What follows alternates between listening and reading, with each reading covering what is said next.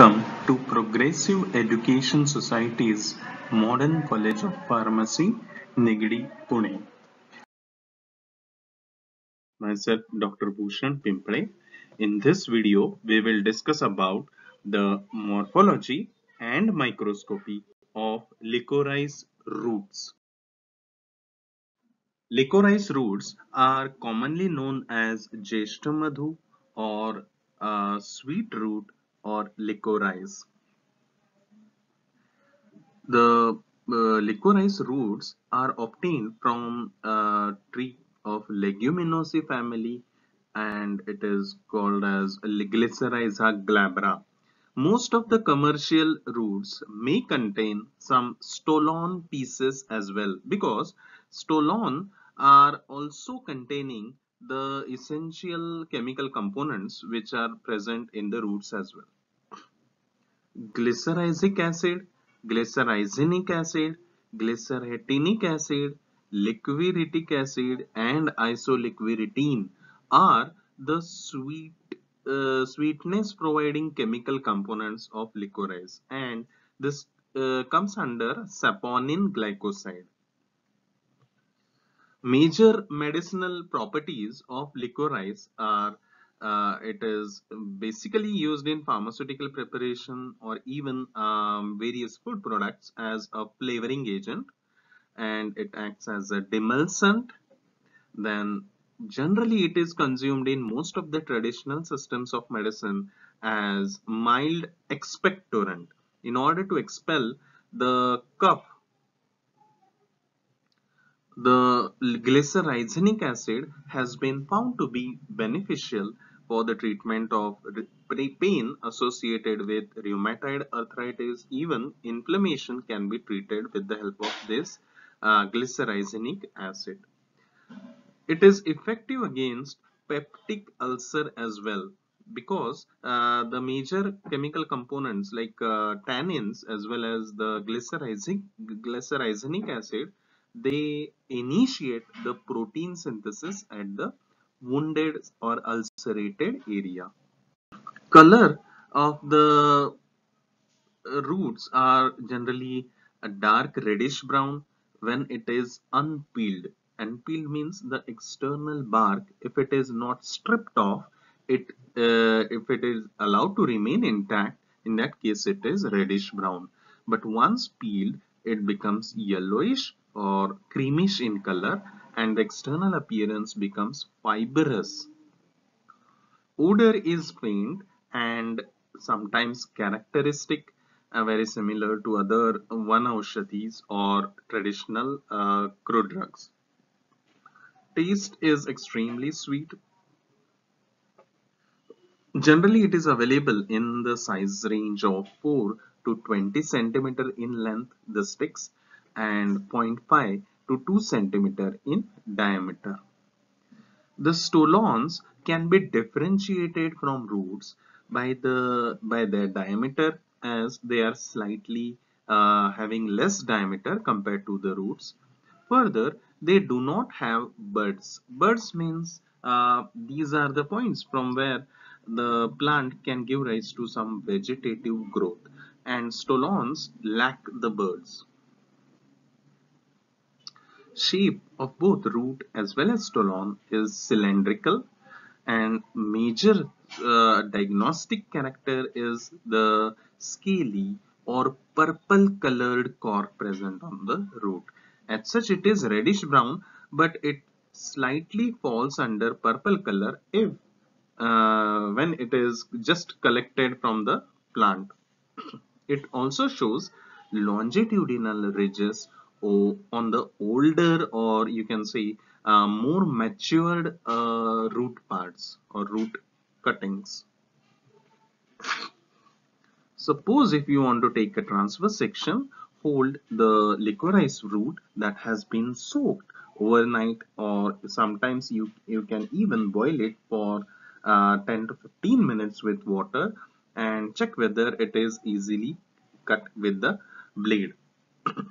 For taking a transverse section, the root has to be held in this way and fine sections need to be taken. Care, is, care should be taken that the root while taking a transverse section the root should have the bark. That means you should take the section only from unpeeled roots. Unpeeled means bark should be present. Even at the time of examination make sure the piece what you are choosing from the beaker should have the bark or else half of the anatomical characters of the TS you will lose.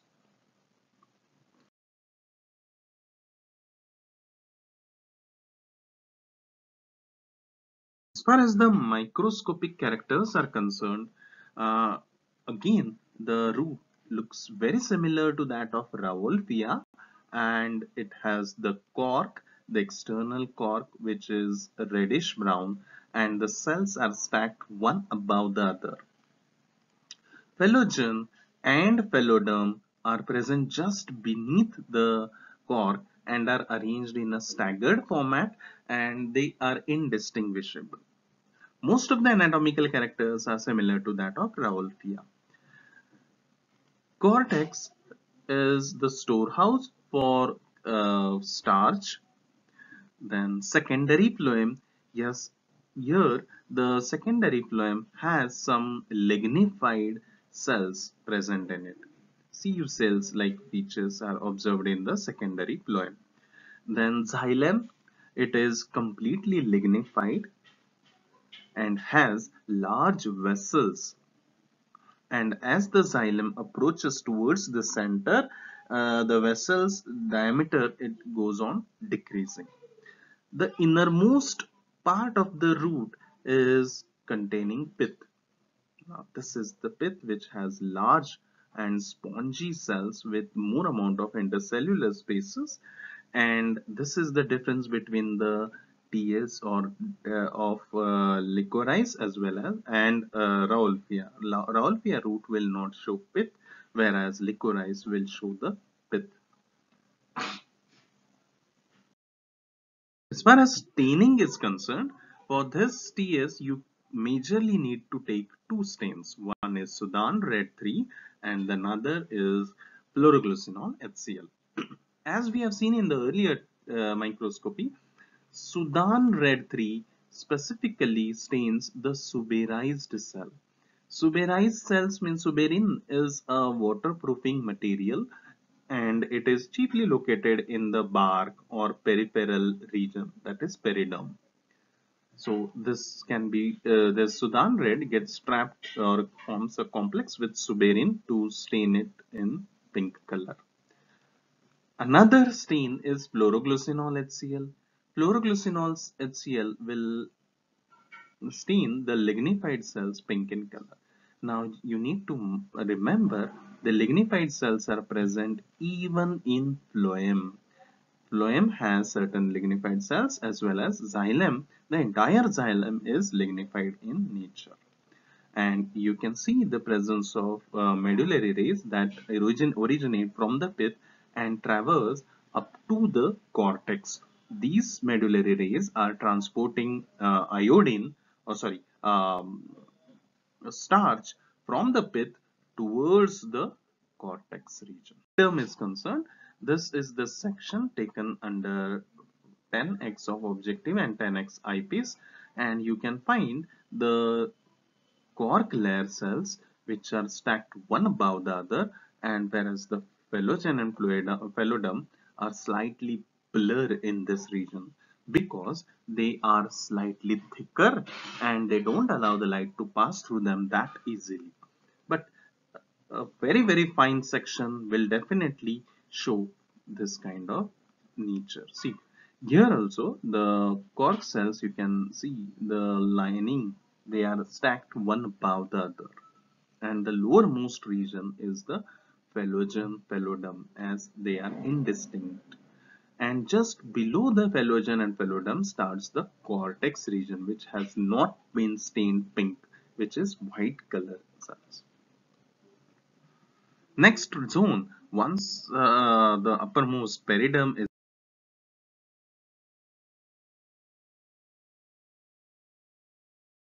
next zone is cortex.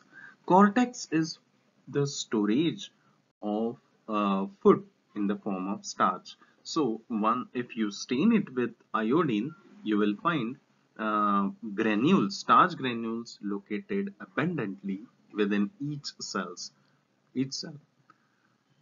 This is the section taken at uh, 40x eyepiece, uh, sorry, objective and 10x eyepiece. So here you can locate the small granule, starch granules being stained with iodine.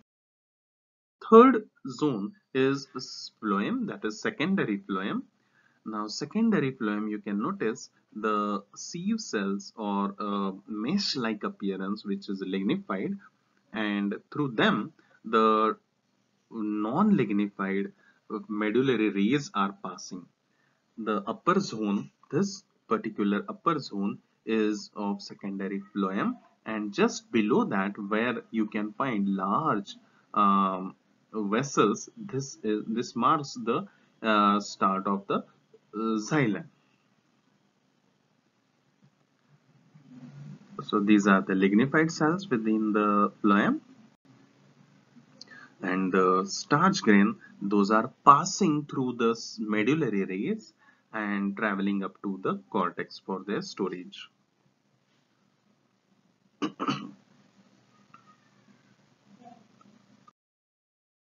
then xylem the xylem can be seen here properly with large vessels and as it approaches towards the center or pith uh, the diameter of the vessel goes on shrinking These, these are the xylem vessels and adjoining cells are called as xylem parenchyma. The medullary rays, the role of medullary rays as I have discussed in the earlier slide is to carry the food material from the pith towards the cortex for storage.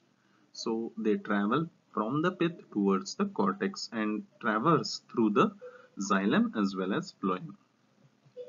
These are the non-lignified medullary rays. Now last part or the centermost region pith cells are slightly circular and they are having more amount of intercellular space. They may show certain uh, calcium oxalate crystals loaded within them. So this is all about the licorice root and its morphology and microscopy.